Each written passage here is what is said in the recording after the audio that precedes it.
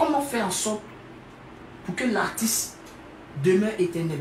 Parce qu'un artiste ne meurt jamais. Lorsqu'on dit un artiste ne meurt jamais, c'est à travers ses œuvres, à travers sa musique.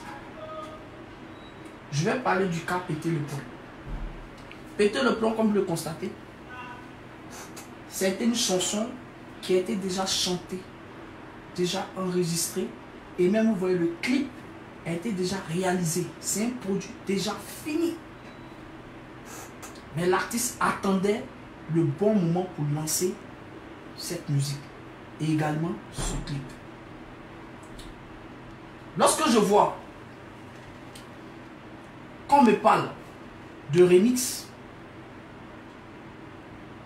je me demande au fait si certaines personnes aujourd'hui peuvent comprendre le thème ou le mot remix. Nous sommes tous allés à l'école. Lorsqu'on dit remix de quelque chose, c'est-à-dire la chose existe déjà et on fait une autre chose par rapport à la chose. Donc, musicalement parlant, lorsqu'on parle d'un remix, c'est-à-dire il y a une chanson qui existe bel et bien, qui est déjà sortie, et on fait un remix de la chanson. Mais pas en fait. Ça compte pas. On ne parle de remix pendant que la chanson n'est pas encore sortie. Ok. Le remix sort.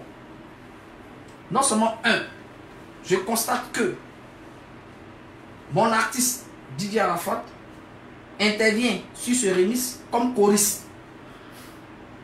Vous savez ce que c'est qu'un choriste? C'est-à-dire l'artiste chante et lui répond.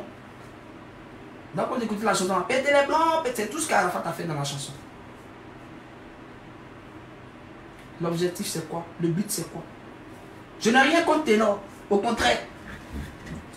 Ténor c'est un artiste que j'aime bien, de par son talent. Également, il vient d'un pays que j'aime bien parce que au Cameroun, on a beaucoup de Chinois là-bas. Voilà, donc je salue Ténor des passages. Mais personnellement, je parle du travail au fait j'ai pas du tout aimé le fait que la chanson sort.